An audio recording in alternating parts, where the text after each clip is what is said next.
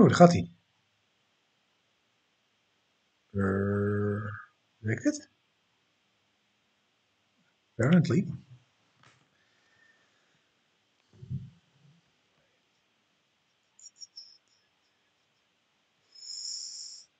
Let's see. Okay, let's see if this is working.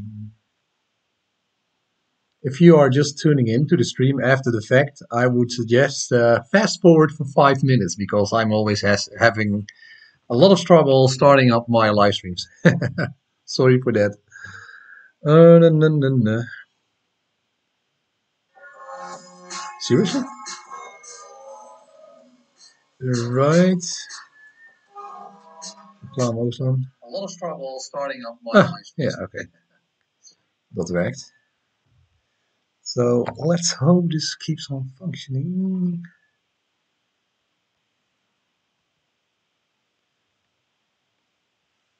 Let's go public.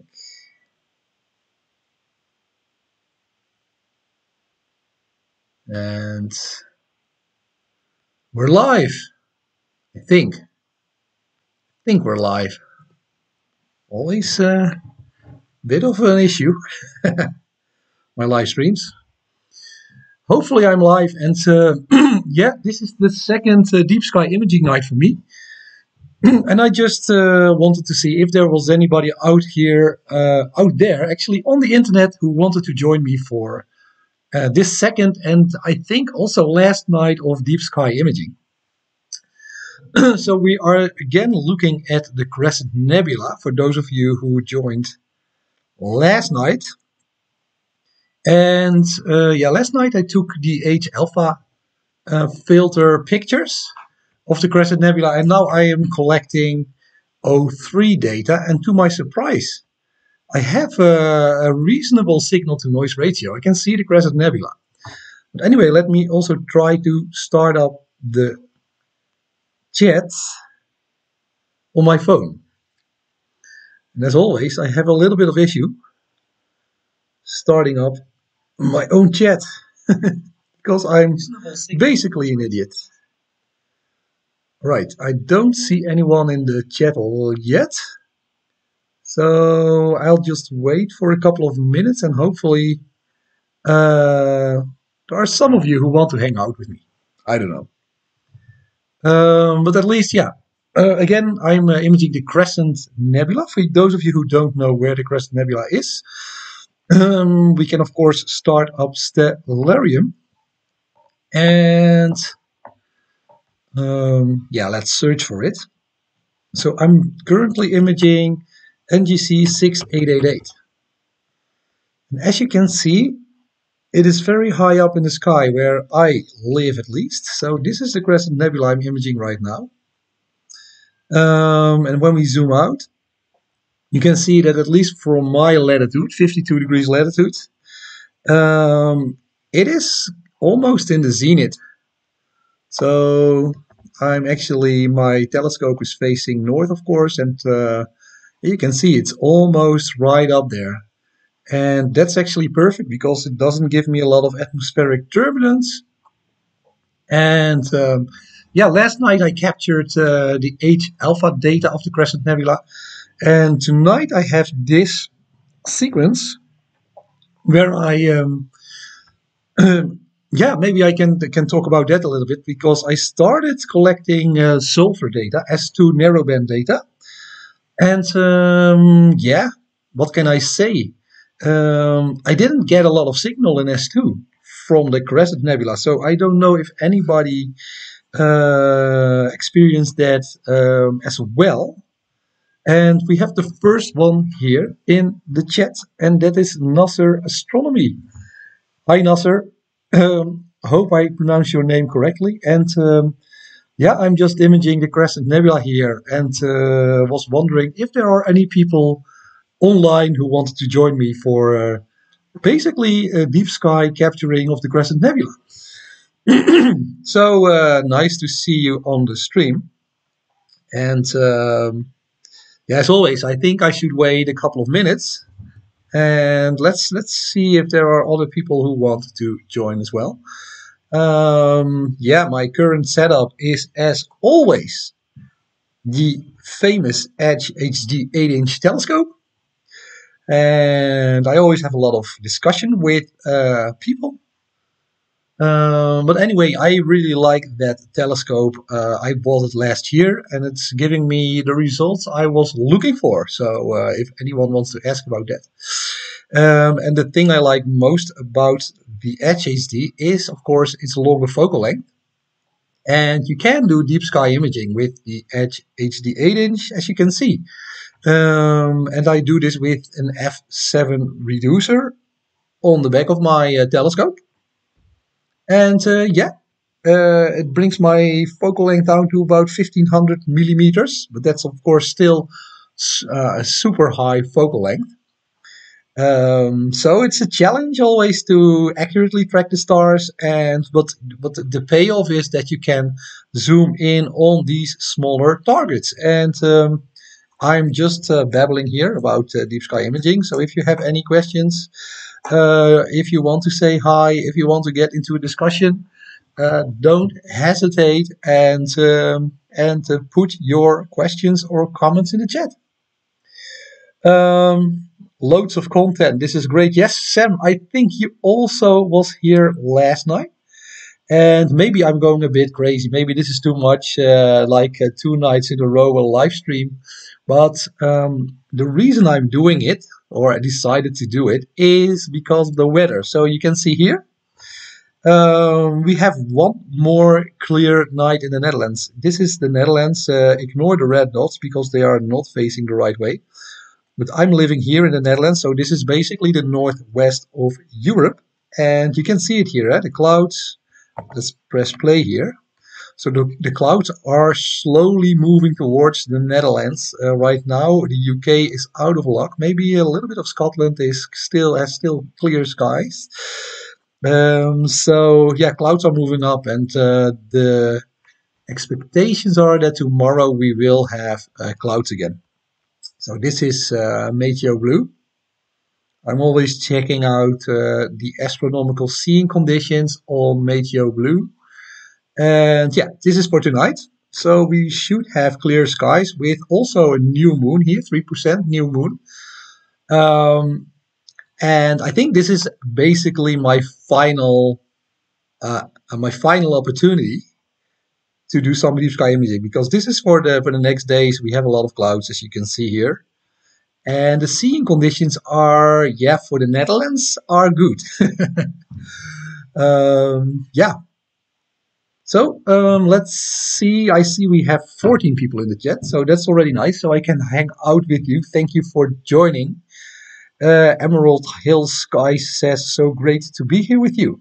You're the reason I bought the Skywatcher EQ6R Pro. Okay.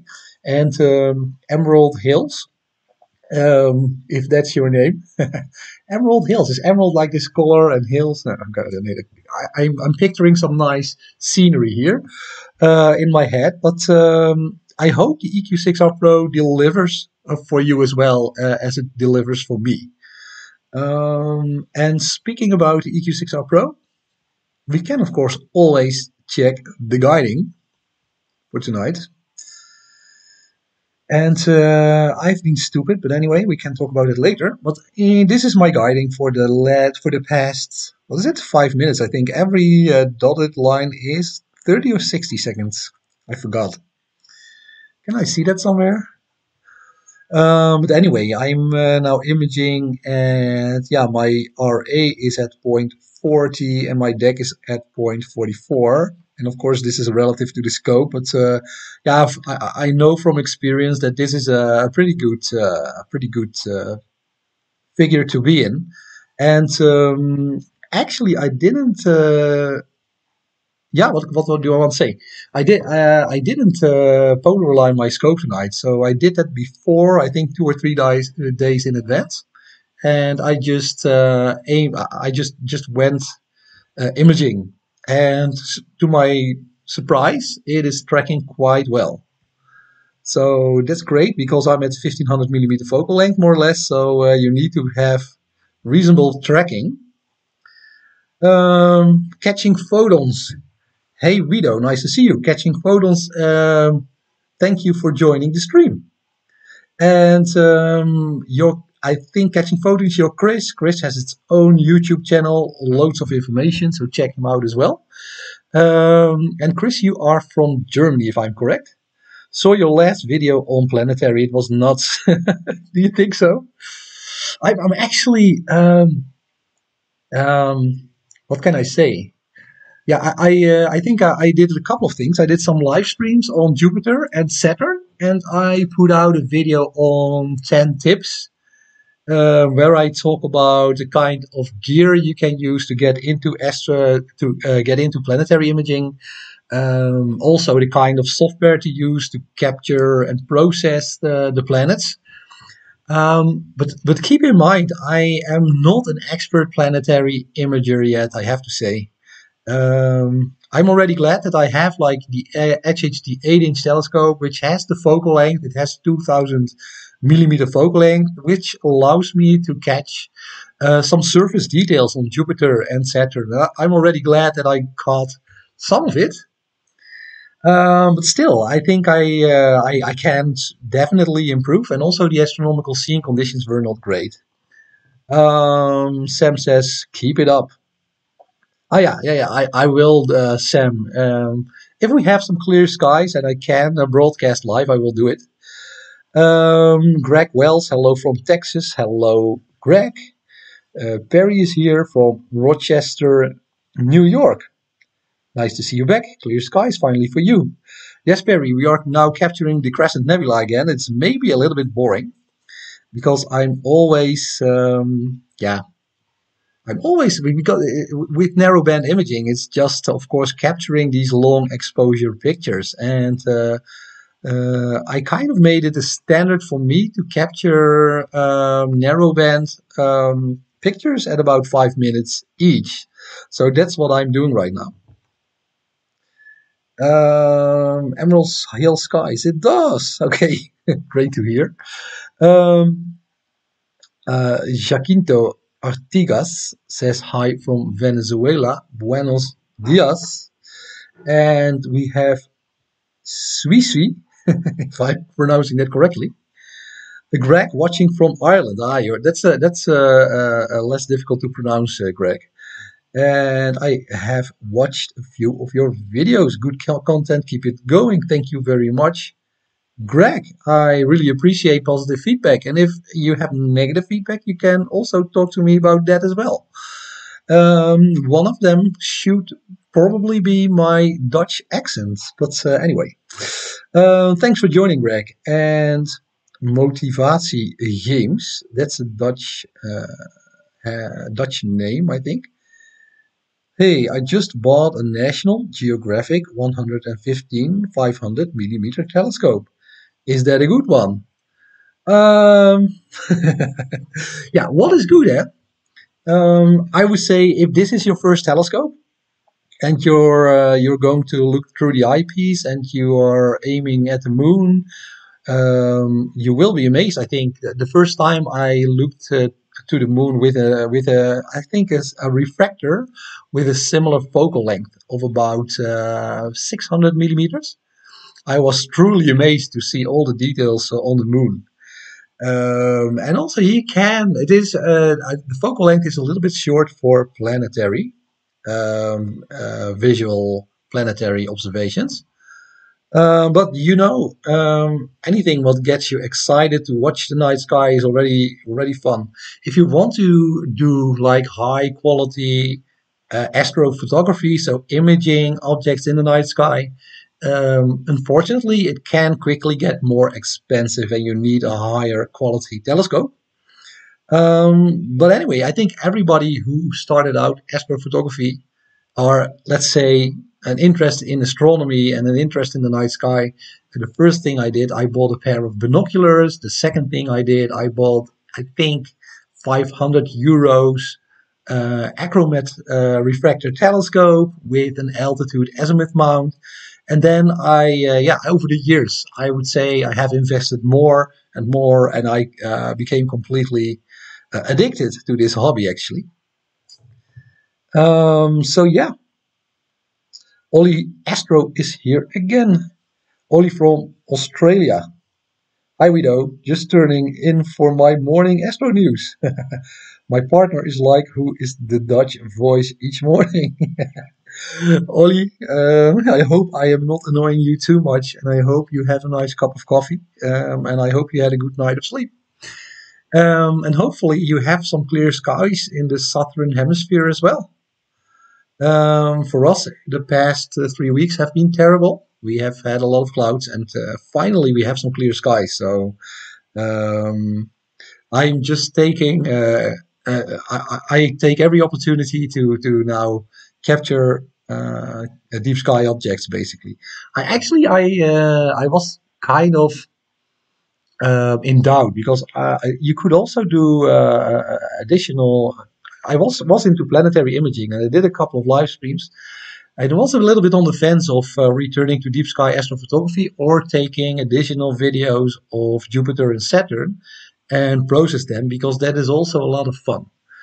Um, but in the end, the astrophotographer in me uh, got the uh, the upper hand. Is that a, sentence? So I chose the Crescent Nebula here. Hi Wido, greetings from Velserbroek.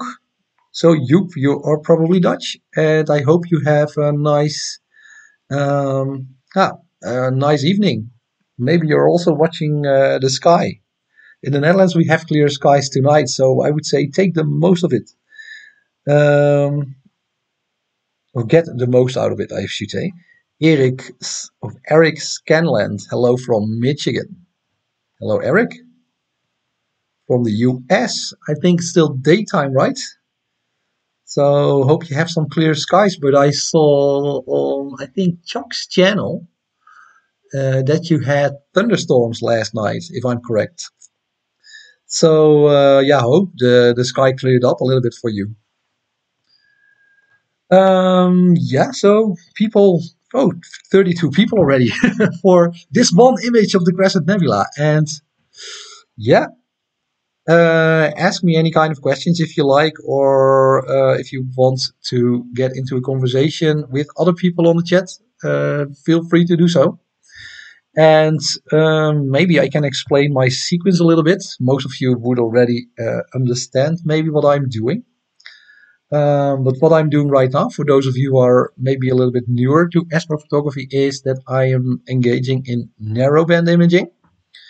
And narrowband imaging is basically, um, basically, it is the kind of astrophotography that saves the persons who, like me, who live in a city center or live under uh, severe light polluted skies. so uh, yeah, I'm in the Netherlands. Maybe I can I can show you this. So let's let's get that light pollution map uh, going. I'm always looking at light pollution map. I'm sure that a lot of you already know this website. Um, so I can show you where I am. I always have trouble zooming in, something like that. I cannot, can I page? Anyway, we I am here currently in the Netherlands, right here in this red zone. And that is, of course, yeah, I click. We are around Bortle class. We are definitely not at Bortle class 5. Um, can I zoom in here? Nope. Um, let's give me another try. No. Oh, here, that plus sign, I think. Yeah, yeah. Now we're getting somewhere. So this is basically Western Europe. This is the Netherlands. And I'm here at Utrecht. And it's indicating class 6, but I'm really in the center of the city. So that is really class 7, class 8. Um, so, yeah, anyway, uh, let's get back to the Crescent Nebula. Um, it is then still surprising that under these light polluted skies, I can get an image like the Crescent Nebula. And the way we do it is uh, we engage in narrowband imaging, uh, where we take a very small band of the light spectrum and uh, we can image only the light or uh, the, the filter only passes light in a very specific uh, yeah, part of the, the, the visual uh, light spectrum. And in this case, it's collecting O3 data. And it's only collecting 7 nanometers of bandwidth and all the light pollution then gets blocked and you only receive this signal. So that's pretty awesome. And that's actually also the trick that you can use when you are living in uh, light polluted uh, uh, city skies. Um, let's see who is here? Um, absolutely Joep Remkes, I just tuned in. Can you tell me something about the camera you are using right now? I'm starting astrophotography and looking for a camera. Can you comment a bit on DSLR versus ZWO style cameras? Yeah, um, I can you, and probably also a lot of, of other people in the chat. I think most of us started out with a DSLR camera. Uh, the main reason uh, to start astrophotography with a DSLR is that you probably already own one. So uh, you don't have to invest in any additional camera. So that's super nice, of course. Um, but there are also some drawbacks of your DSLR. One one thing is that your DSLR has an uh, IR cut filter, an infrared cut filter. Uh, that blocks light in the red part of the light spectrum above a certain uh, uh, number of uh, yeah, anyway uh, close like the red part of the light spectrum close to the infrared it gets blocked because uh, it allows you to take good uh, uh, color calibrated daytime pictures. But a lot of the objects that we are capturing in space they are actually in the red part of the light spectrum. So what you can do to upgrade your DSLR is to remove that IR cut filter uh, another thing you can do with a DSLR to improve your what we call signal to noise ratio to get a better picture, uh, basically, is also to get some filters. You have some clip-in filters, they are called. And lots of us use, for instance, a light pollution filter or a hydrogen alpha filter.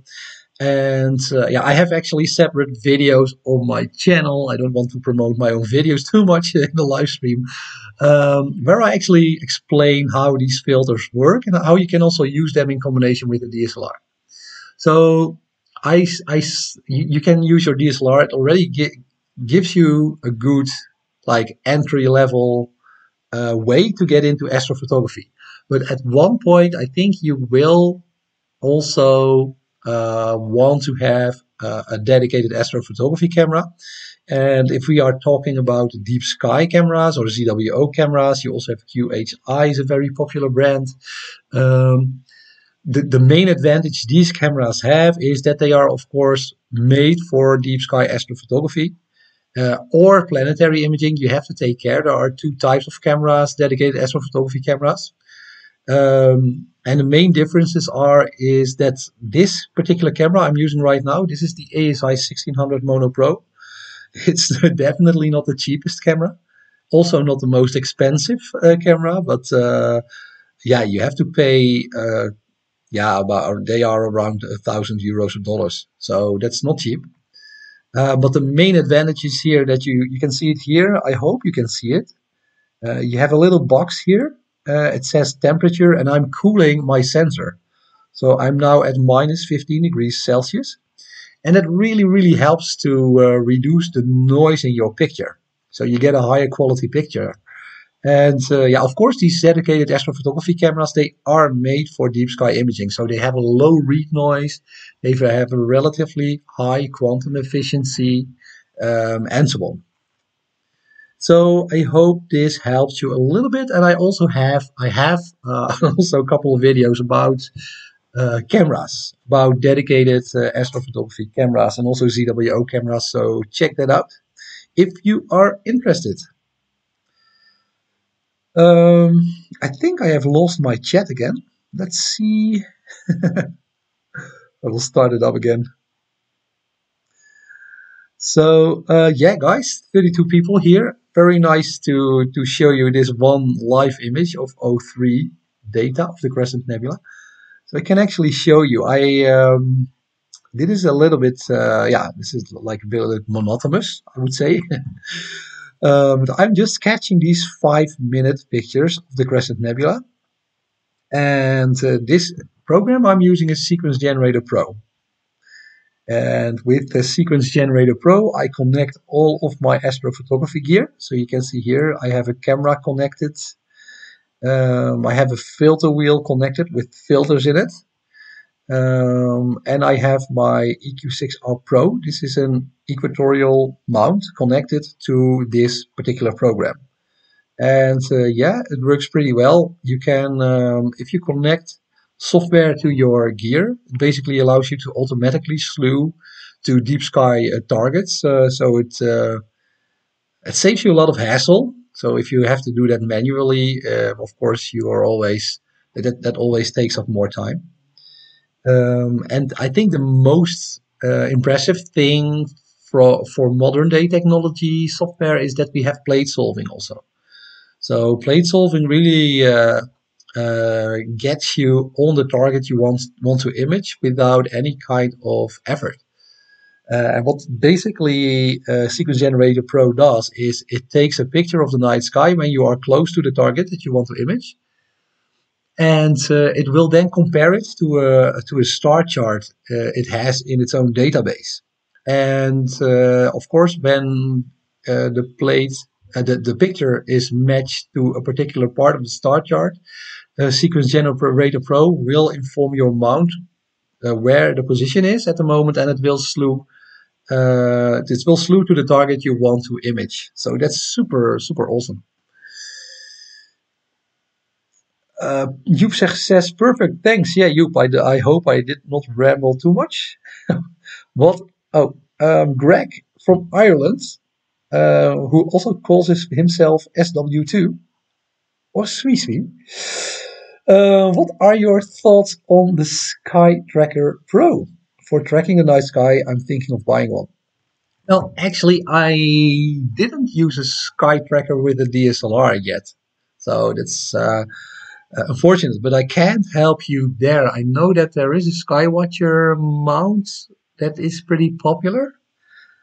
Um, so yeah, and in general, I think it is it is interesting, especially when you are interested in uh, like this astroscape, like wide field astrophotography pictures of the night sky. If you want to take it with your DSLR camera and you want uh, to track the stars, so you can increase your exposure time, it is definitely a good idea. Uh, to get a tracker, but maybe some other people in the chat they use trackers as well, and they can inform you a little bit about the different options you have. Um, and actually, I was a little bit sad uh, during this holiday. I spent my holiday in France, in the south of France. Um, and uh, yeah, I have also a wife and two daughters. So the entire uh, the car was filled with uh, stuff that didn't have anything to do with uh, astrophotography. So I only took my DSLR camera and a tripod and um, now I I was under some super dark skies in the south of France, and I was really like disappointed that I didn't have my gear with me. But yeah, it's also nice to have your family with you, of course. Um, but I think a, mo- a, Star Tracker would have fitted my uh, in the car. So I'm thinking about next year when we uh, maybe go to uh, to a dark sky uh, or a dark side again uh, I will try to also to get um, a tracker with me, and then uh, hopefully I will succeed in making longer exposure pictures of the Milky Way, especially. That's what I would be interested in.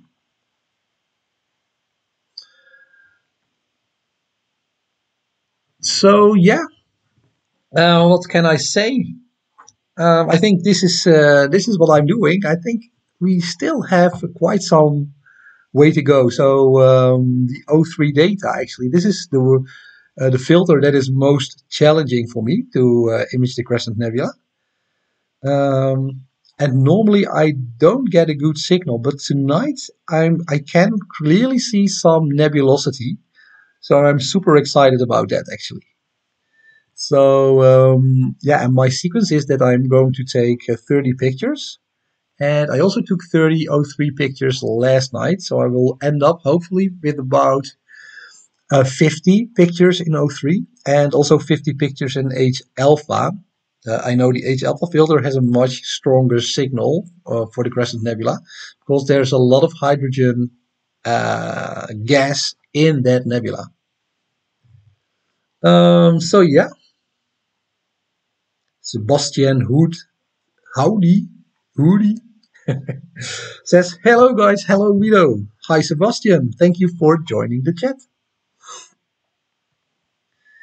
And um, yeah, on a personal note, um, we have, have had some uh, some challenging circumstances in the house because uh, my two daughters uh, they both were tested positive on COVID on Corona during the first week they went to school, so that was pretty hard. So um, and there were also other people uh, or other children, and even the teacher had the coronavirus. Um, but as luck would have it, I don't have the virus. Uh, I was tested negative, and tonight I was tested again, but I'm feeling great, and um, so lucky for me.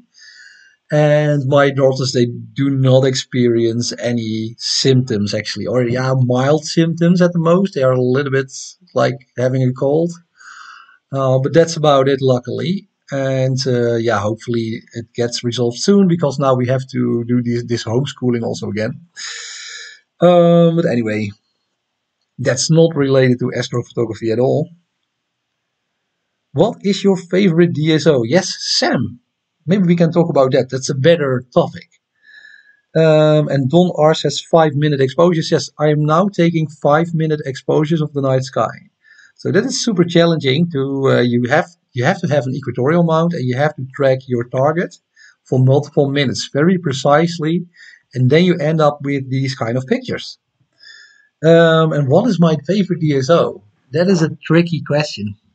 Um, I did, you know, they are also challenging targets for me, but I really, really love to image uh, smaller galaxies. So um, I think, yeah, we will have to wait until February, March again.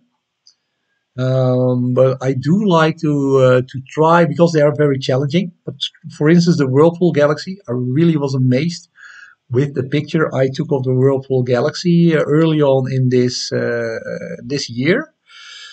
Um, and yeah, you have the Pinwheel Galaxy as well, of course. Um, but it, it also depends a little bit on the kind of equipment you have. If you have like uh, a focal length of 500 millimeters, like uh, an apochromatic refractor telescope, uh, then I would definitely go for nebulas. And they are still, if you look at uh, nebulas now, uh, of course we are now in September, but there are still some awesome big nebulas in the sky. You could image also, uh, yeah, with like a focal length of 500 millimeters. So yeah, you of course have the North America Nebula, of course very famous. I think every you have all kinds of nebula in Cygnus. So let me show you that. So close to Deneb here. That's a very bright star. Even in the city, you will you will be able to spot Deneb. So just east of Deneb, you have here a lot of nebulosity. So the North America Nebula and the Pelican Nebula are very famous. If you go a little bit south, if I'm correct, always trying yeah this is maybe a little bit farther south you also have this is super famous also the cygnus loop uh, with the eastern veil nebula and the western veil nebula and this is oh i always forget this pickard's triangle or something like that um, but i really like that uh, that region so the the Sadr region and i'm actually here right now so um, i'm close to Sadr they also call this uh, area surrounding the star Sadr, or is it Seder? I don't know how to pronounce it. I think it's an Arab name, so it should be maybe Sadr. um, and here is the Crescent Nebula. So you can see we are close to. I'm zooming in and out. Hope you don't get uh, seasick from me just uh, zooming in and out of Stellarium. But uh, yeah, we are currently here at the Crescent Nebula. You can see how, um, you can also check this on. So this is my field of view with my Edge HD 8-inch camera and the ASI 1600 monopro camera um, and a 0.7 reducer. So this is also nice. You can uh, set up, maybe I should do, uh, there are a lot of videos already out there, but I could also do one where you can uh, you can set up Stellarium, and Stellarium is very nice to, to, to do things like this. So I can see here in, in advance um, if the particular picture I want to take, how this would look on my particular camera, on the in the field of view of my camera.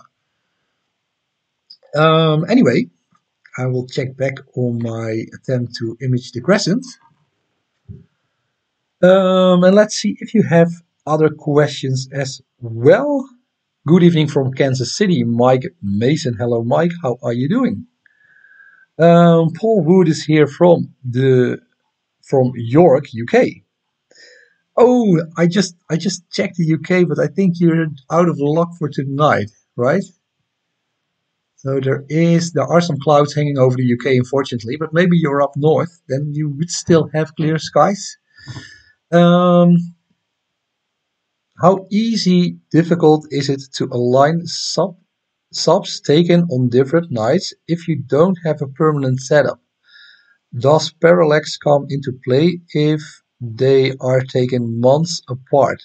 Well, Paul, um, the short answer to that is that it is definitely possible to uh, take uh, deep sky picture, especially deep sky pictures, um, across multiple nights or even across weeks or months, and you would still be able to use that combined data to um, yeah to stack all of these separate images together because um, they are so distant, like the Crescent Nebula. Let's let's for instance take this uh, deep sky target as an example. Um, I should get some information. I think I checked off all the information uh, here. Information short. hope you will be able to see it. Let's hope I can click on. Yeah, maybe I'm zoomed in too much. So out. Let's try to uh, it doesn't take the crescent. That's unfortunate. Maybe I should switch off this. Uh, let me try again. I'm pressing like hell to select this particular target. It doesn't do it. Oh, why not? Oh, maybe I should do this. Yeah, the crescent. Ah, finally. Um, no, then I should not go for the short but for the all available, let's see if it has, uh, it doesn't have information on light years. So here we have distance. So you see that um, the Crescent Nebula, this is amazing, it's 4,700 light years away. So at that distance, yeah, the, the little parallax thing you were talking about, like the Earth goes around the sun, and it's I think it's like about 300 million kilometers uh, um, difference, right? But at this like 5,000 light years almost distance, you will not notice that uh, in your pictures, and uh, especially not at the magnification levels we are using as astrophotographers. Um, so yeah, that's a good thing. Eh? So you can image uh, uh, targets uh, at clear because yeah, we are in Western Europe. and we have a lot of cloudy nights. So uh, sometimes it takes a couple of days or even weeks to image uh, a particular deep sky object in different colors, for instance, or in different uh, in, at different exposure times and so on. but the short, yeah, this is not so short answer anymore, but you can do it. Um, Mike Mason, uh, currently my Canon T5 is currently being modified. Very good. Is that a Rebel T5? I also started with that camera, exact camera. Uh, only in Europe it is called the Canon 1200D. And Mike, I don't have any idea why the Canon cameras in the United States sometimes have different names. I think like the 60D and the 60DA and uh, the Canon RA, they are all they all have similar names, but sometimes, like the entry level cameras, they have different names. I don't know why, because we are a global community. Joep Remske says, you mentioned the filter wheel. Do you take pictures with different filters and then stack them together? Or do you just use the specific filter for the object? All the best with the COVID situation. Yeah, we will survive the COVID situation, you probably. Um, but thank you for the support. And um, yes, I think there are two ways to get into astrophotography. So if you are using your DSLR camera, of course, this is a color camera. So you will take a color picture of the night sky, um, which which is great because it simplifies your post processing uh, steps you have to take. So I would really suggest if you just start out astrophotography, uh, use a color camera and then uh, maybe in combination with some kind of light pollution filter. And uh, yeah, get into imaging and you just end up with like 50, 60, 20, 30 pictures. And you stack them together and you get a color image of the deep sky object you wanted to image. But there is, of course, a but. And the main but is that actually, uh, if you use a monochrome camera, like I'm doing right now, we are looking at a black and white picture. Um, if you're using a monochrome camera, um, a monochrome camera is better able to capture uh, more light in a specific part of the light spectrum. So, for instance, if you are using a red filter in combination with your monochrome camera, um, uh, light you are collecting from your deep sky object it can act, it will get like if it is in the red part of the light spectrum, that um, photon basically will pass your filter and it can land anywhere on your sensor. So it will always, yeah, depending on your quantum efficiency, but it will always register that particular uh, photon of light. Whereas if you are using your DSLR camera, it has a Bayer matrix. It has a red, filter, a blue filter, and two green filters for every pixel, actually. So um, chances are that when uh, you're collecting light, for instance, in the red part of the light spectrum, and that red uh, light hits like either a green or a blue filter on your Bayer matrix, it will not get registered. Anyway, long story short, monochrome imaging, it allows you to get uh, a better signal to noise ratio or better quality picture uh, for each of the different filters uh, or the colors, if you will. For each of the different colors that you use, you can get a better picture. And what I'm doing here is a specific sub thing. So I'm doing narrowband imaging right now, and narrowband imaging is actually uh, something special. Like I said before, it uh, it only takes a very small bandwidth of the light spectrum, and it passes only photons that are exactly on that bandwidth. Um, and there are, um, yeah, like in deep space, there are objects that emit a lot of light on a very narrow bandwidth. Um, so I'm I'm taking here oxygen um, and I know the Crescent Nebula has some oxygen because it has a shock shell, um, basically, of, of different uh, gases colliding with each other. And uh, yeah, you can see it here. And if you use a narrowband filter, like I said before, it blocks out all of the light from like the light polluted city center, or actually all the light that doesn't fit that narrowband uh, filter. Anyway, I hope I, I explained that a little bit um, so that you can understand what I'm doing. Have you tried the Bubble Nebula? Don R says. Yeah, the Bubble Nebula. That's actually that is an awesome target, and I think it's a good target for September also, right? I didn't yet actually. So now you make me curious. Let's check the bubble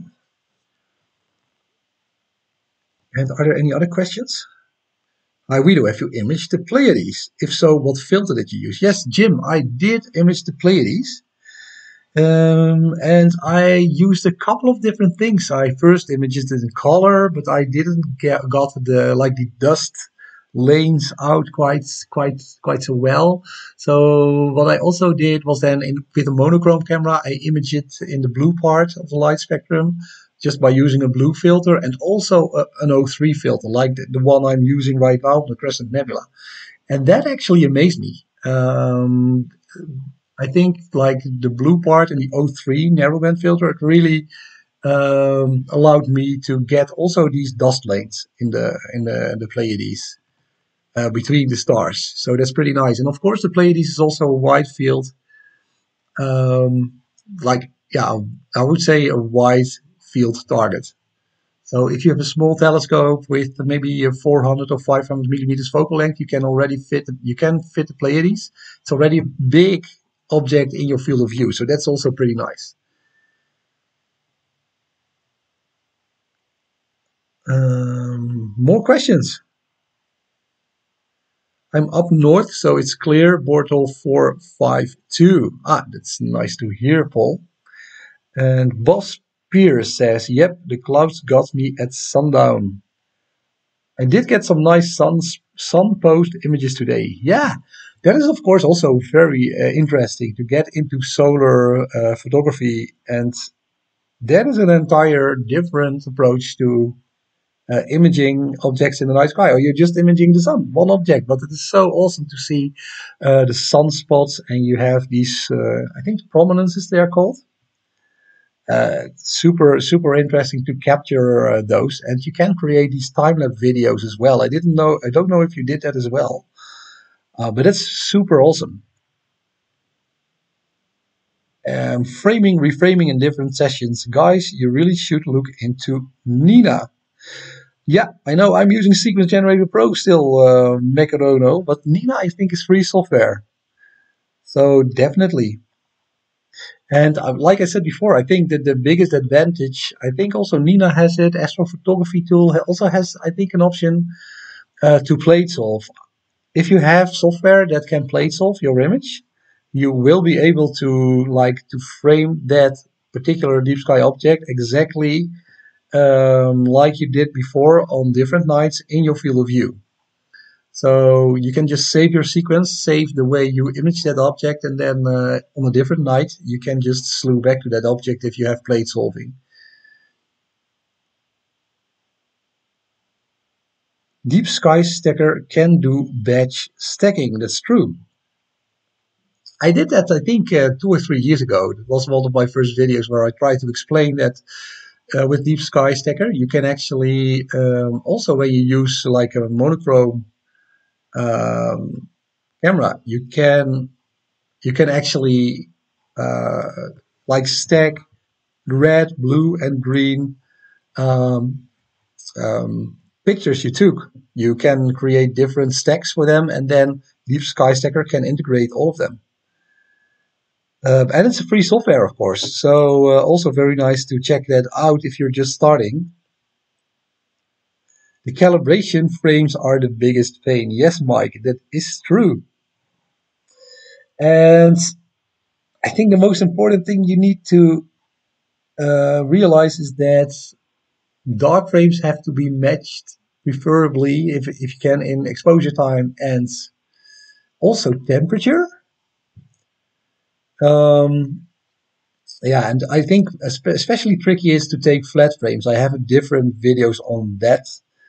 Um, and yeah, you can you can of course check out how to do it depending on the equipment you have.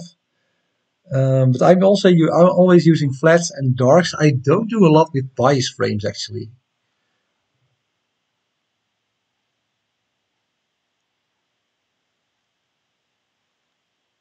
How do you know if your exposure is good enough for faint deep sky objects? How do you pick gain, time, binning, etc. to get enough data? yeah, Phil, that is a really good question, and I think um, the the answer is a little bit trial and error, but that that's not a, that's not a very good answer, of course. Um, uh, I think that the, it depends a lot on the camera, and uh, if you look on the internet, like I have the ASI 1600 Mono Pro, and if you check out Astrobin, for instance, people using that camera, they often use Unity Gain. And Unity Gain on the ASI 1600 Mono Pro is 139 gain. So for this particular camera, I'm using 139 gain. And uh, that actually gave me pretty good results. And also uh, exposure time. You could say that longer exposure times are better because you are catching more light. But of course, when I'm now I'm now taking five minute exposures, and of course the the how do you can say the the, the the other side of it is that you when you take uh, long exposure pictures, uh, you're guiding. Why is it not showing that? I want to show you PHD2. Um, ah, okay. I don't know why it's not responding. maybe like this. Uh, let's see if I can. For some reason, it is locked. Um, but anyway, um, so the, the longer your exposure is, the better your tracking should be. So if your tracking is a little bit inaccurate or you have some difficulty uh, tracking the night sky for multiple minutes, then you will of course end up with star trails, elongated stars. So actually this, you can see it in this picture as well. But for some reason, I can't really access my mini PC that is outside. Maybe another thing I can talk about. um, I will try to get, oh, maybe it's because of Stellarium. All right. Can I do it now? Yeah. So this is actually PHD2. Eh? So I have a guide scope as well. It's taking one second pictures of the night sky and it found this one star. Actually, this is a very low Normally I get a rich star field with my guide scope and camera, but uh, now I only see three stars. You can see PHD2 is tracking that star every second and it sends corrections to my, my mount. In this case, the EQ6R Pro. And that allows me to stay on the target for multiple minutes and take long exposure pictures. But sometimes your tracking isn't that good and that also limits your exposure time, of course.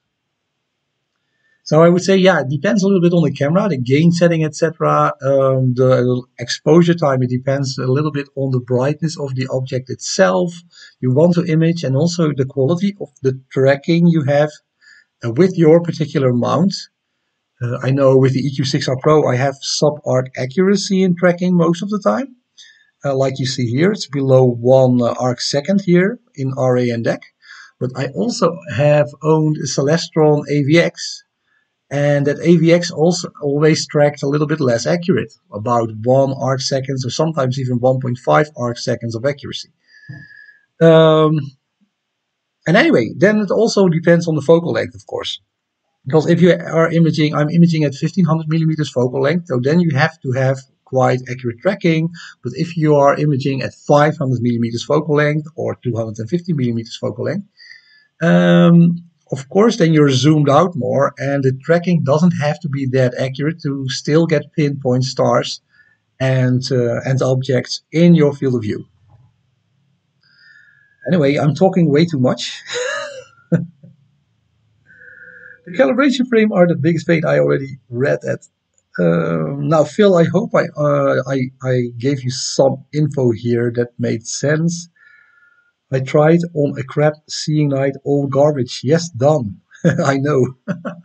Sometimes, um, especially in autumn or winter, it is uh, then it, it, it is uh, sometimes weeks go by or even a month goes by without any opportunity to do some deep sky astrophotography. And then when the, one of these crappy nights uh, comes along and you have some seeing, uh, I'm always setting up my rig and I know in advance that the, the pictures are will not be that super great, but uh, uh, still it allows me to practice a little bit my skills also. Uh, so yeah, unfortunately, I'm in the northwest of Europe and we don't have the best weather or seeing conditions. Um, so I should I should take take a trip, or I should maybe open up a second uh, uh, second spot in the south of Europe or somewhere else where you have more clear nights. I know a lot of people in Spain or they have a second setup in Spain. And uh, yeah, they have what they have. They have basically twice the, the the clear nights as compared to the Netherlands. So I'm pretty jealous. Um, oh, I'm running behind on the chat, of course.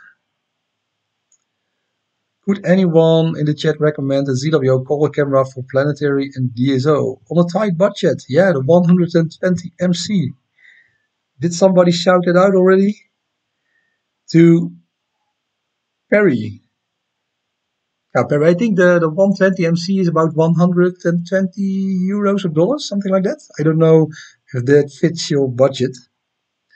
Uh, Base Pierce says a UHC filter is a good all-rounder for deep space, space objects. Yes, that's true. It blocks out uh, yeah, parts of the light pollution that are often uh, in, in, in light polluted cities. I should be proofreading my comments again. okay. I didn't know. Did you have a comment um, that didn't fit the chat so well? Jack, I bought my first telescope, a 12 inch Dobbs Skywatcher. Wow. But I can't seem to but I can't seem to great details the seeing or something like that. Any tips? I actually I didn't own a, a, a such a, a, large aperture Dobsonian telescope, uh, Jack.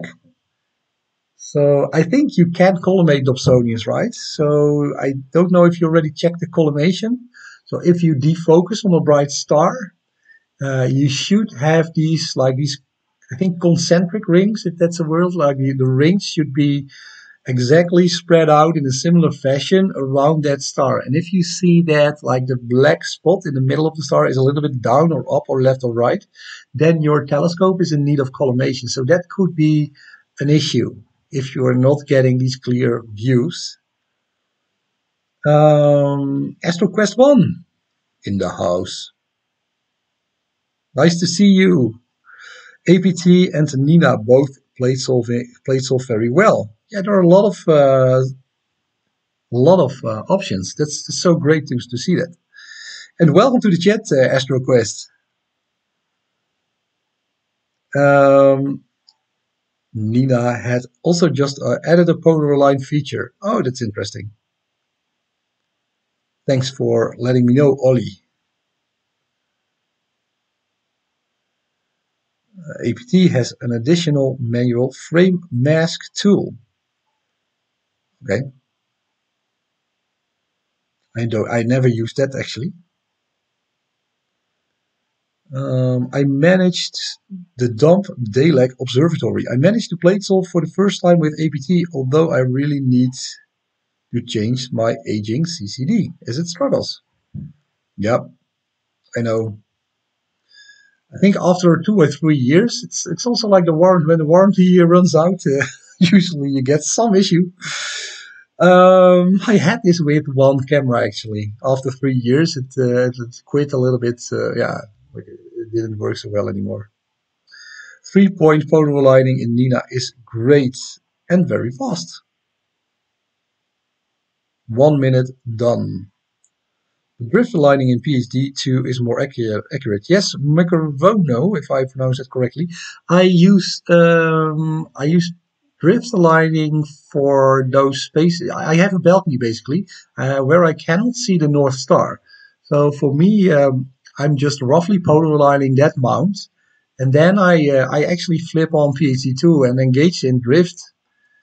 Um, drift aligning to actually uh, get a yeah, it's not super accurate, but it's accurate enough, especially for small size uh, refractor telescopes. Is there a difference, Dennis Payne, is there a difference between 101 seconds images or 10, 10 second imaging, assu images, assuming focus tracking, etc.? Yeah, there it definitely is.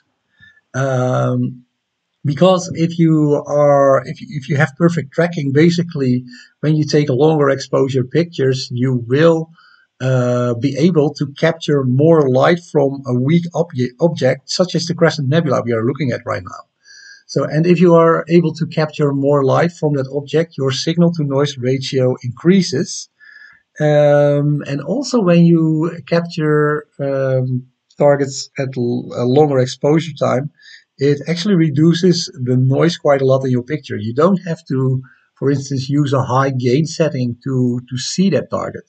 So you get a much smoother picture that is also much better to post process. Uh, so that's my opinion. I don't know if there are other people with different opinions because there are, there is also a whole community that engages in engages in what is called lucky imaging and they literally take like thousands or maybe five, six, ten thousands of pictures of a particular object and they stack all of those pictures together. And one particular advantage that you do have uh, when you are engaging in such lucky imaging is that some, some you sometimes you have um, like atmospheric turbulence, or you always have it in the sky. And when you take these long exposure pictures, of course, one of the risks is that your picture gets a little bit blurry uh, because of that turbulence. And when you take a lot of one or two, yeah, like uh, uh, short exposure pictures, uh, supposedly you can then uh, you can then yeah like uh, it's a it's a workaround around the turbulence that you might otherwise see. So when you also are focused on the moon, um, I think a lot of people did that already. You can always see that turbulence. You always see these craters, um, like uh, yeah, going from left to right in your or up or up and down in your picture. It's it's a little bit like looking through water at the moon. And that's actually what you may maybe you, you can you can improve on that by engaging in lucky imaging, and you get you get supposedly get a sharper picture. But then you also should be focused on a very bright object like the planets. So planetary imaging is a very good example where people take a lot of like uh, five millisecond pictures and they end up with five or six thousand pictures of Jupiter and they, they, they select the highest quality frames and then they end up with a nice picture. Anyway, of course, I missed a lot of chats. but I'm glad to see that there are nine, 39 people in the chat and I see you are also helping each other out.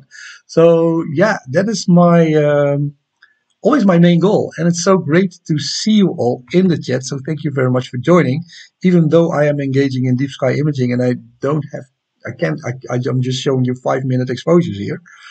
Um, and I do hope you have, uh, yeah, I am making some sense in explaining stuff in astrophotography, and um, I'm always happy to learn more. So if people uh, are making comments about Nina, which I never use because I'm using Sequence Generator Pro, that's good information.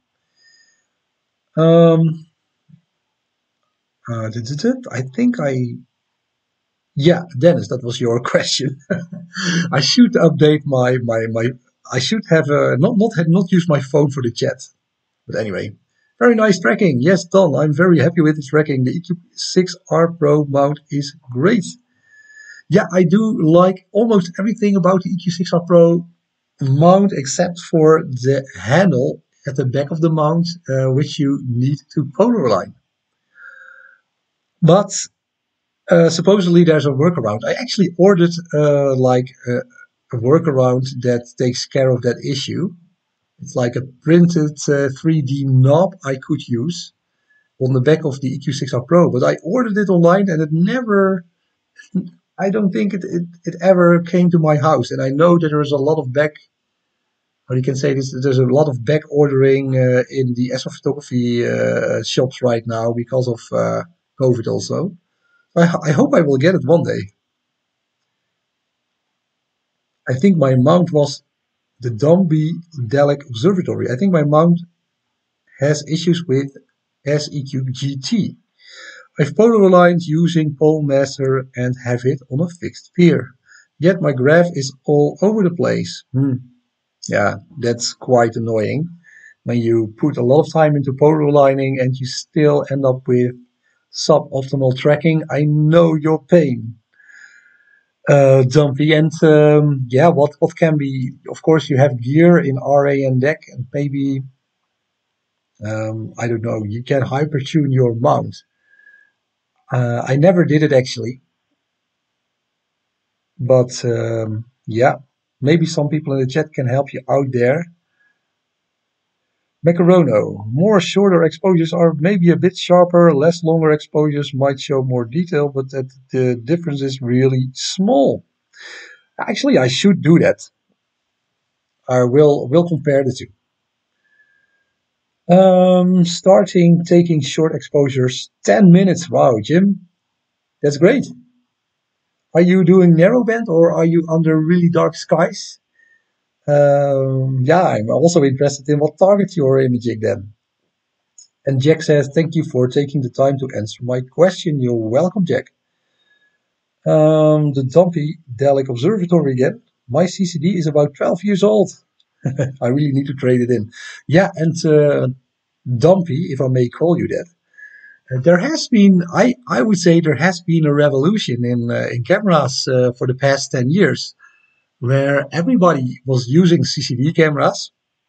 And if you look at the astrophotography uh, community right now, most of us, including myself, are using CMOS uh, based uh, sensors.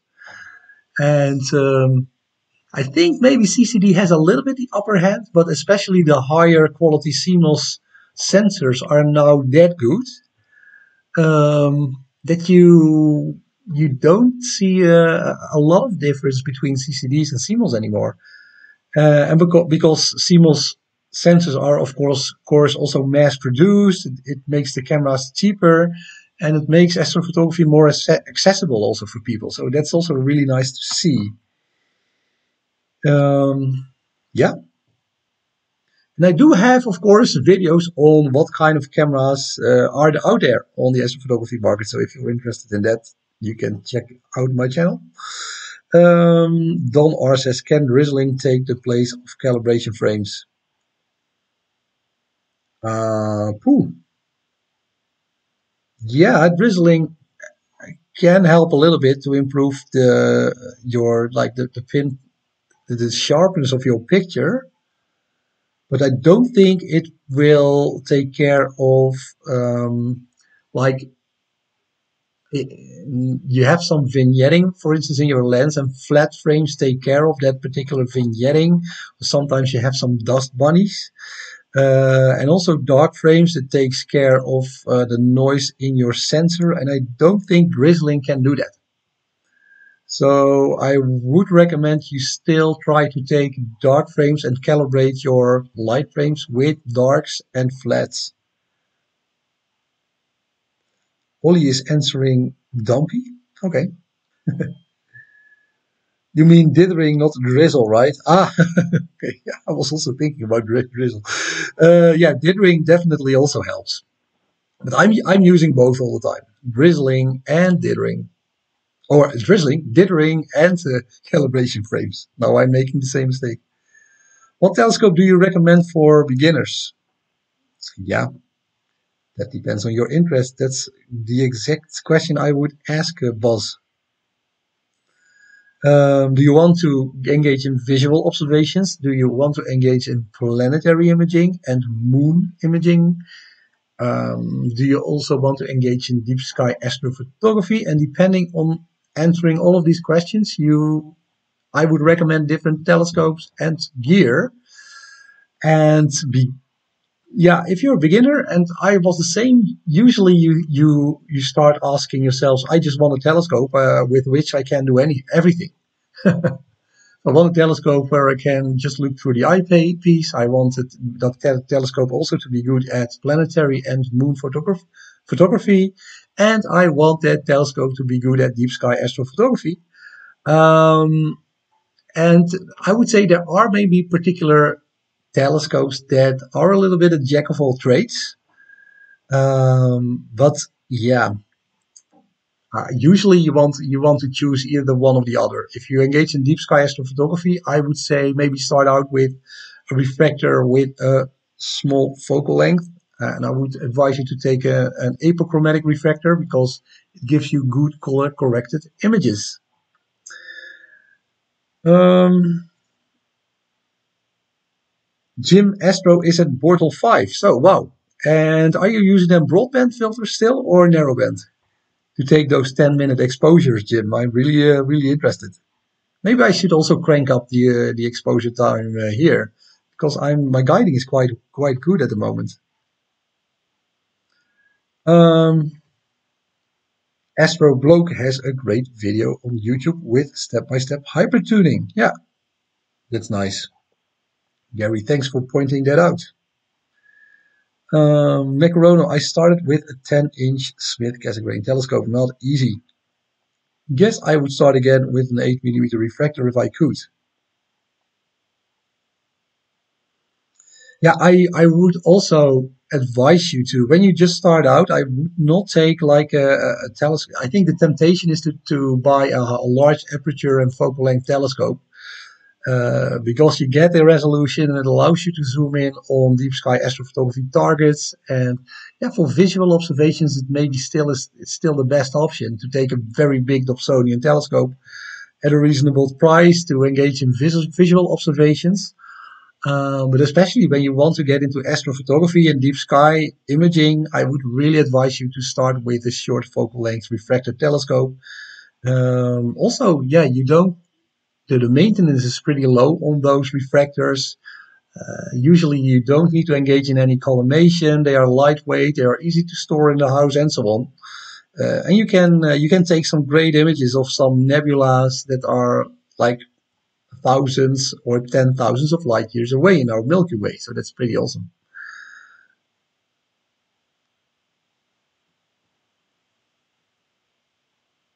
Sometimes it's better to start with binoculars. Yes, of course. That's always nice. Ah, you're doing narrowband HA imaging, Jim. Yeah. Then I can understand your 10 minute exposures. And maybe you have like a small 3 nanometer uh, HA filter. I don't know. 80 millimeter APO, APO refractors are very forgiving. Yes, I totally agree. Oh, but I'm so, actually, I'm so happy, guys, that I have some uh, O3 data on the Crescent Nebula. I hope I can also um, post-process that nicely. Um, I'm really hoping to get that shock shell image also of the, the Crescent Nebula. And I was actually also surprised to see, uh, I, I, started with imaging uh, sulfur, uh, with a sulfur narrowband uh, filter, but I didn't get, I almost didn't get any signal out of the Crescent. So it appears that most of the signal in this particular target is in the HA and the O3 uh, narrowband filters. And I think now I'm coming up at about 10 minutes, I'm coming up at the H alpha filter again. And unfortunately, I don't have any electronic focuser.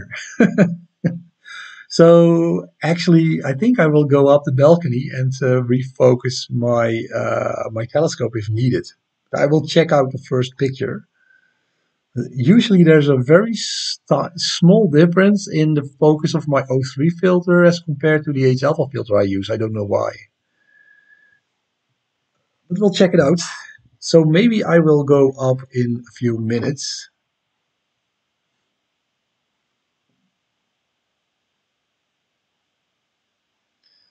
Having my eye on the 26 MC Pro or the Altair 26 color Yeah. I don't know, does the Altair also include a hub? I, I really like the ASI 1600 uh, monopro because it also has two USB hubs. And uh, I'm always using my filter wheel uh, to connect to that uh, camera. So I don't need an extra power supply. These small differences you can look into. Um, but I think they are using the same sensor, right? So the devil is a little bit in the detail, I think.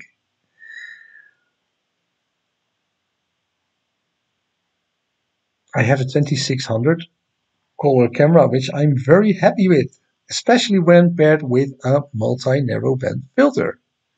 Yes, that's of course also a way to get into narrowband um, astrophotography is just to use a dual or a tri-band filter um, with a color camera, and you are you will uh, collect a little bit less light because of the Bayer matrix.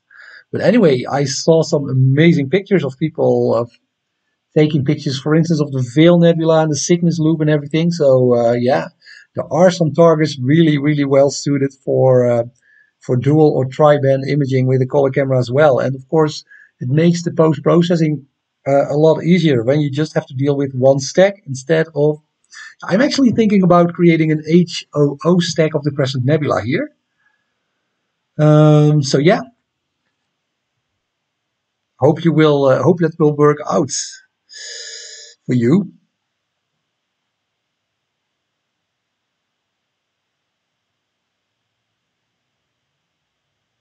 Okay, Ollie has some information because he is using the 2600 MC. If you get a scope that shoots a flat field camera that has a good resolution, you can discern details like those higher magnification scopes. Hmm. I really didn't know.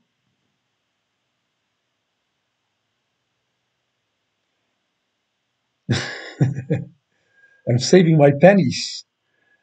I tried out the IDAS dual band nebula filter last night, which seemed to work uh, well. Yeah, that's of course also a question. Like, what is your budget? That's always the question in astrophotography. And usually I have a budget in my mind, and then I see something great I want to uh, to invest in, and then I cross that budget. Yeah.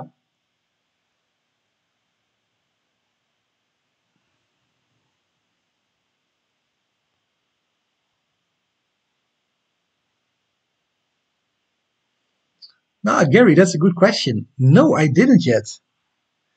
Um, didn't use a sodium wavelength filter. Uh, I, I, for now, I, um, I think for the past year, I have been sticking with uh, H alpha, S2, and O3 because, yeah, those are the, I think, the most popular and also, uh, yeah, uh, filters that you can use to bring out uh, these specific gases in deep space targets. But uh, I, I can really imagine that there are more filters like this sodium filter, I think, um, with which you can like maybe make some interesting combinations with the more classic filters as well. So uh, yeah, I will look into that. Thank you for the suggestion.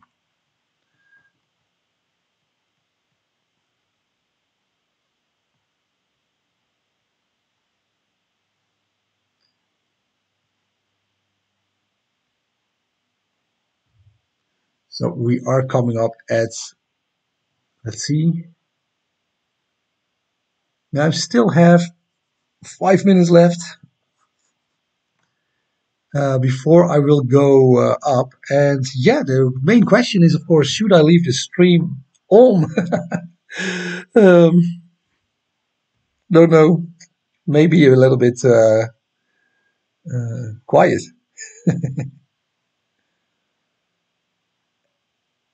I think it's worth it. Okay. Whoa, planetary images in the house. Hello, planetary images. Filter recommendation for the Iris Nebula. Don R, I think the Iris Nebula, is that a broadband target? Does anybody know? I think it's not a, it's not emitting a lot of light in the uh, narrow band like the H alpha and the uh, the sulfur and the oxygen part of maybe the oxygen it is. I think the Iris Nebula is a broadband filter, so you should you could use a light pollution filter. I think for the Iris uh, like a broadband filter for the Iris Nebula and not a narrowband filter. But uh, please correct me if I am wrong. Stay on, Jim says. Okay, Jim, I think when I come back, you might be the only one in the chat. RGB, yeah. So everybody agrees it's a reflection nebula. So it's a broadband target basically. And you also have this with uh, galaxies, of course. So um, yeah, I, I, was imaging the whirlpool and the pinwheel galaxy from the from my balcony in the city, and that is super challenging because I do have to deal with light pollution. Even though I am using a light pollution filter, I still get a lot of light pollution when I'm taking like two or three minute pictures. So usually I, uh, I, I, try out different things. I have tried to take uh, long exposure pictures and try to, uh, like, try to deal with that light pollution in post processing, which sometimes works, but it's not the best uh, picture you end up with. Uh, I also try to take like more shorter exposure pictures of particular uh, brighter objects like galaxies. That seems to work a little bit better. So if you are under light polluted skies and you want to image a galaxy or a broadband uh, um, um, target like the Iris Nebula apparently because it's a reflection nebula, uh, you might want to look into a light pollution filter in combination with limiting your exposure time and taking more pictures and stack them.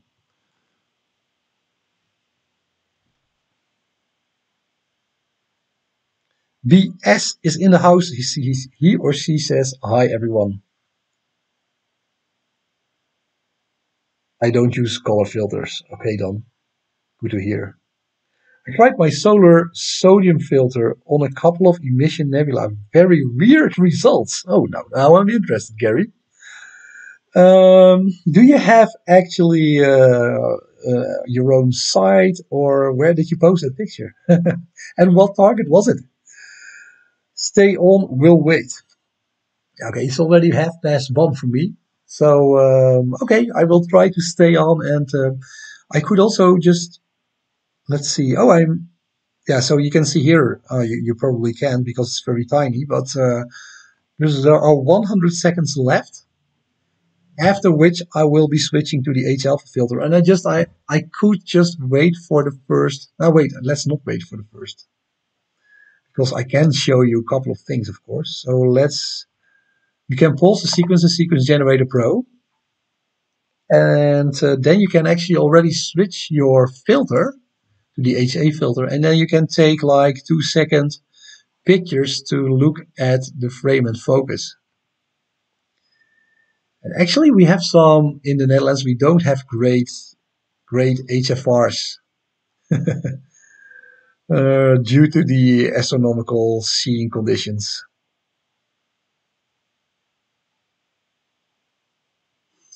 It's okay, 60 seconds to go. Uh, of course, I will go to bed at one point. I think when I when I uh, uh, fine tune the H alpha filter. Um, but anyway, we can we can spend a half an hour more. Let's see, forty seconds to go. I think I did. Yeah, I really hope. If I stack all of these, I'm going back now. If I stack all, you see a little bit of dithering going on. Scrolling back here, I think when I stack all of these images, I really hope I will get some nice oxygen data on the crescent.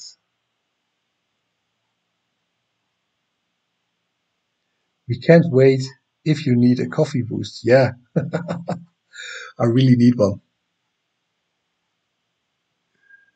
I have some uh, some. Uh, oh, can I make a commercial? Cola, where is it? Oh, of course I cannot see it because my, I'm lagging behind if I'm looking at my own chat. oh, that was it. It was it, guys. Here we are at 30 frames. What I'm doing always, I don't know if anybody else uses Sequence Generator Pro, is I go to this filter setting and I'm already switching them to HA. And then I can just press set and of course it will then move to the HA filter. And then I take a couple of short exposure pictures just, just to see the results. So I'm pressing start here on frame and focus. Oh, that's not much to go on. But here you see, I, I'm a little bit out of focus. So I will go up and I can't use my bedroom because my uh, my wife and my children are asleep there. So I will I will go up the stairs that is outside of the house, and that's a pretty tricky deal. I have to jump over the fence and everything to get on my balcony. So if I don't return, maybe somebody can call. Uh, it's not 911 in the Netherlands, it's 112. Um, anyway, hope to be back in a couple of minutes. And if you see some wobbling, that's because my uh, I have a wooden balcony, so the stars will be a little bit, uh, yeah, like out of focus or whatever. Um, okay. And I think, oh, that's a little bit tricky. I need to see this because I have, I, ah, I, I know, uh, I know workaround. Okay, we'll be back.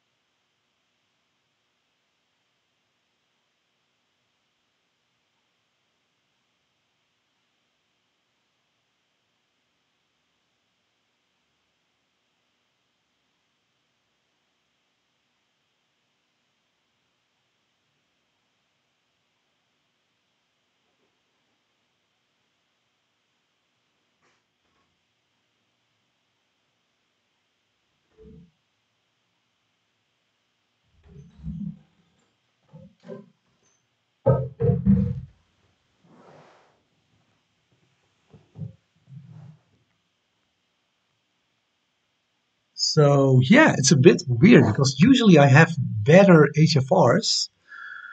Um, but I do just see some pinpoint stars. So I'm just trusting my eyes here. And yeah, let's take the first long exposure H alpha uh, picture. So resuming. Oh, yeah, it's always asking me to. I'm cooling at minus 15 at the moment because it's, it was pretty hot today. Uh, let's check this off. Ah, oh, wait, let's see if PHD2 already settled. You can see here, I was on the balcony here and here. And clearly I need to lose weight. uh, yeah. COVID. Um, let's check this out.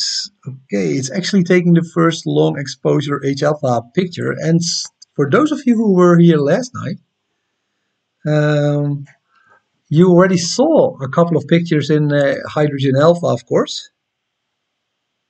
And still 39 people here.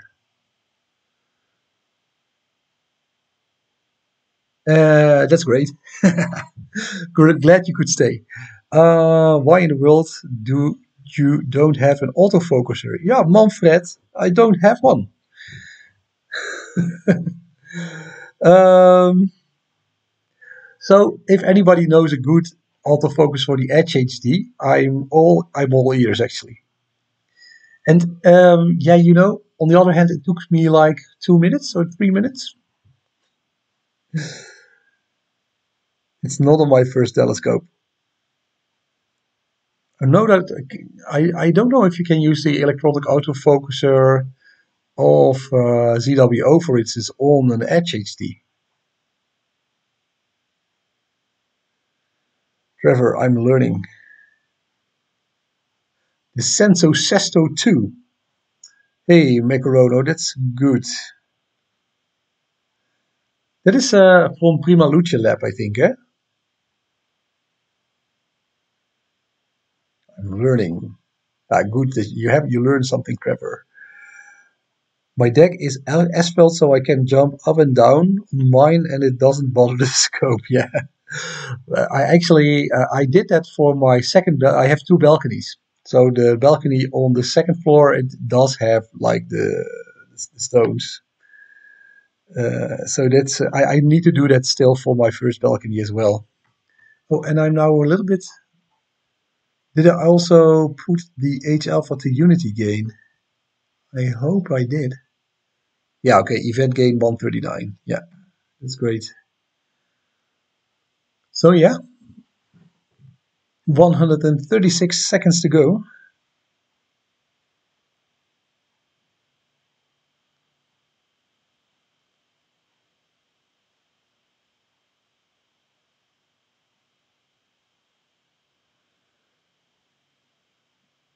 Okay, Manfred says, wants to one of my pictures from Australia. I don't know exactly what you mean by that, Manfred. Uh, it's only 3.47. really done? Where are you then? 3.47 p.m., I would say, in the US. I use an Optec low profile focuser rotator system on my TEC 200 millimeters. Sesto Senso on my 127 ED and a ZWO EAF on my Edge 80. Okay, that's nice. I couldn't imagine not having an electronic focuser any longer, yeah. Gary, at one point, of course, I will get one too. And the ZWO works on an SCT.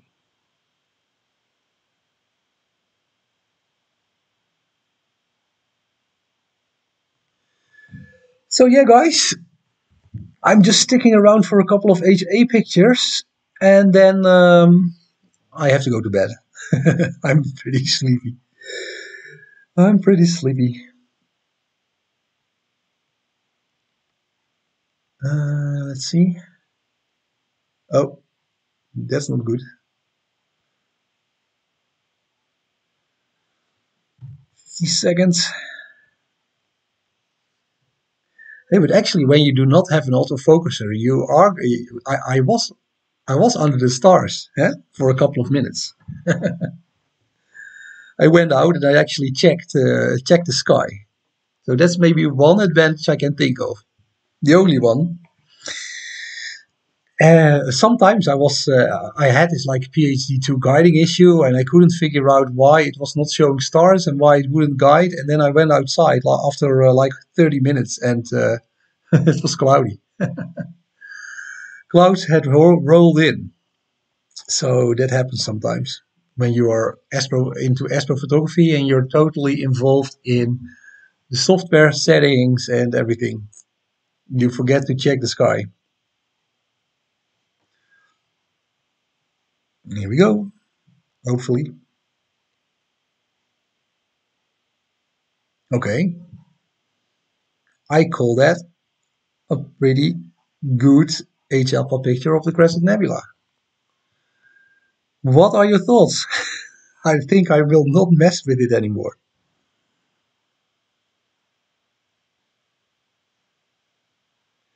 Ah, okay. If you want to see one of my Espro pictures from my site in Austria, yeah, of course. Manfred, let me know. Do you have an Instagram? Do you have uh, an Astrobin account? Just let me know. I will check it out. Don R says nice. Aha. Thank you, Don.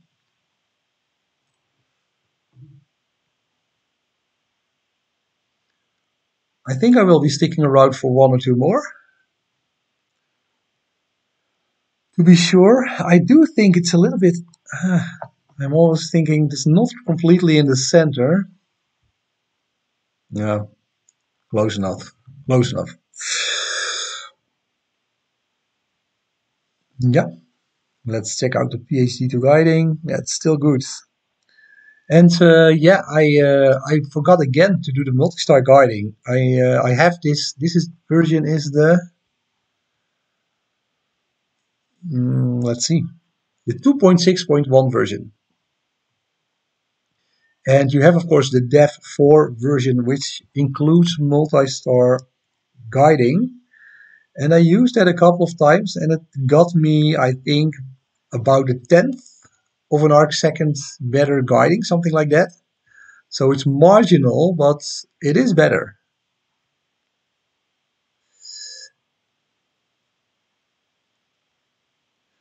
An all sky camera is a good idea to monitor conditions. Yeah. Yeah. I would actually love to build an observatory. Uh, but that it is not feasible where I live live right now in the city. But if uh, yeah, would be would be great to have an observatory and also a, a camera with an all, all sky view. Um, yeah, I think that that will be one of my dreams. I will work towards during the the next couple of years. Uh, I, I, think it would be awesome to have like a, a, a dark a darker sky site where I just uh, have those things. Have an observatory where I can drive to maybe if it's not too far from my house and then just image the night sky uh, and and do do live streams from there. That would be great. Manfred has to go to bed. Yeah, me too, uh, Manfred. Uh, gute Nacht.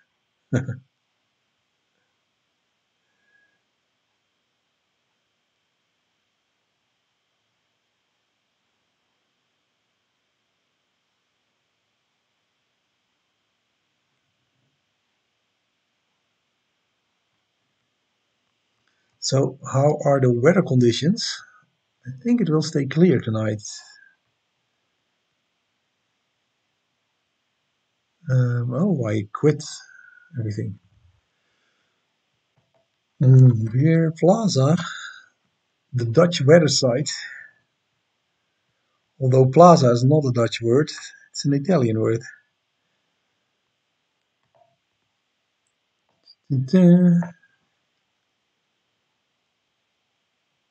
Um, no, this is not what I'm looking for.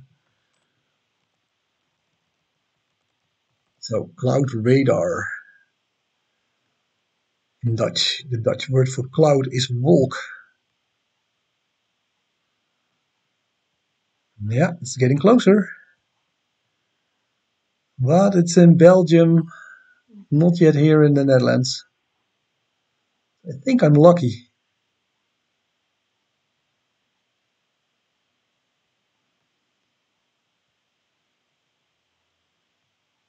Ooh. Yeah, I'm lucky, I think. Right, so this will be the final night, and I, of course, um, I hope to present a decent image of the Crescent Nebula. Um, we'll try to post-process this data during the weekend, and um, yeah, we'll post it uh, if it's any good on uh, on Instagram or what is it, Astrobin or uh, even YouTube has posts now. I saw, so maybe I can post it on YouTube as well, as we are here on YouTube live together. Um, we'll let you know the results.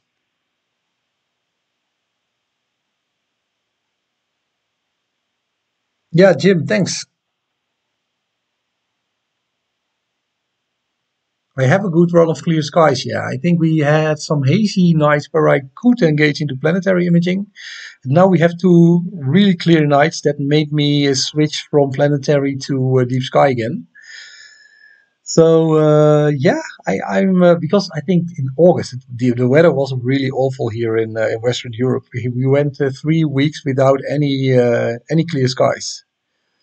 That was a little bit hard, and it's really nice to see that early September we we again have some uh, some nice skies.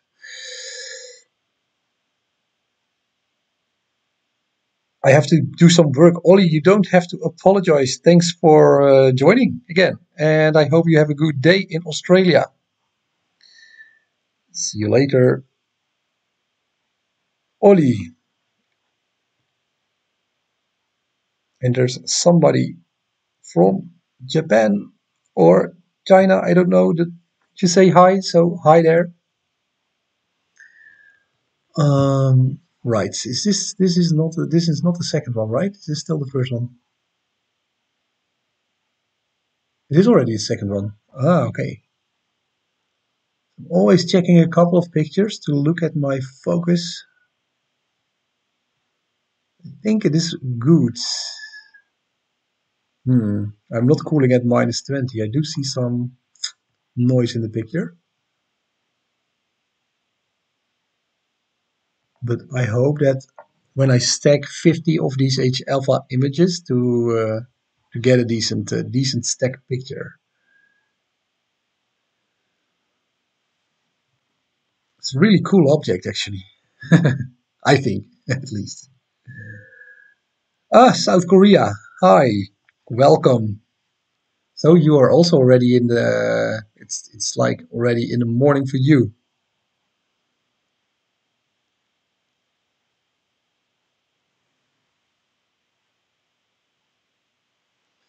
So I will wait for one more H alpha picture, and if that turns out to be fine, uh, then I'm going to sleep as well. Joep, you're still there. Joep, for you it's also one o'clock, right? Thanks, Wido. I learned a lot. I'm still outside. The temperature is really nice, I need to go to bed now. Joep. I uh, I hope you enjoyed some nice uh, clear skies. Yeah, apparently you did. And I'm, I'm actually a little bit curious then where you are somewhere in the Netherlands where the skies are a little bit darker than Utrecht, uh, hopefully. And uh, yeah, have a good night.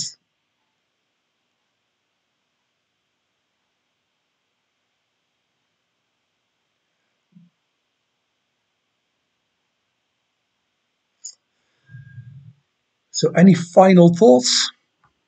Now's the time. One o'clock sharp, yes. And it's true, Joep.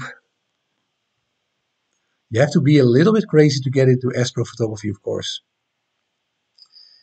Um, but actually, I'm kind of used to it because I, when I was younger, a little bit younger, I used to play in um, a band also. We had some live performances in uh, bars where we would play blues, whatever, pop music, uh, and uh, yeah, usually it went on for about uh, like until two o'clock or two thirty sometimes, and we also had then to to beg for our money or to try to get our money, of course. And that took always also uh, an extra half hour, and then we had to pack up our gear. Like uh, I, I was playing the synthesizer actually, and head back back home. That usually took another hour, and then we were all always we were always very hungry, and we would stop at this shoarma place. I don't know if you have them in the US. Shoarma, like it's a Turkish kind of meat. Um, yeah, anyway, it's it's a thing in the in the Netherlands, and uh, we really enjoyed like all that that fat food. Uh, we took some fries with it as well. and it kind of, uh, if I'm doing astrophotography, I in in this late hour, it kind of reminds me of those times. Anyway, Perry is also leaving. Bye, Perry. Thanks for joining. Oh, Velserbroek, yeah, you already said that.